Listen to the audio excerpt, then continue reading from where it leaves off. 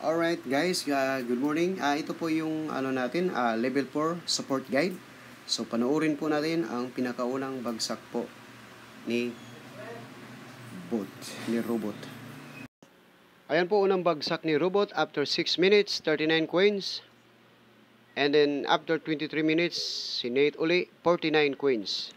At ito naman uli, ah, medyo malaki-laki na. After 46 minutes, ah, si Ruma nagbagsak ng 99 coins.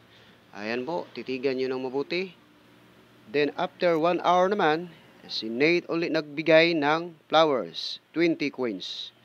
Okay? Then 1 hour and 23 minutes, si Roma naman nagbagsak ng 20 99. Then si Nate uli, uh, 1 hour and 46 minutes, nagbagsak bagsak siya uli ng 99. So yan po, basta yan po ang mga guide natin. Ayan ano, ah, bumabagsak yung boat ano. So yan, tapos si Roma uli, nag, mag, nagbagsak siya ng 99. Ayan. So, yun. Hindi ko na isa-isahin. Ganun lang po kadali ah, pag once na kakanta na tayo. Ayan, oh. Ayan. Tapos yan lahat ang kinita ko.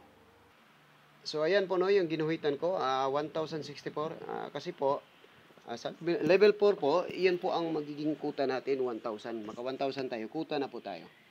Okay. Bali, lumagpas lang siya ng 1,000. Naging 1,064 kasi nakipag-live party po ako. Kaya yun po ang mga porsyento ko galing sa mga ka-live party ko. Uh, yun, ah, sa loob lang ng isang araw yan, ano, one day. Ayun, uh, kailangan ano, sa loob ng isang araw, maka 3 hours and 31 minutes ka. Yun ang ano mo, para maabot mo yung kuta na yan, na 1,000. Okay, maraming salamat and God bless. Good luck po sa atin lahat.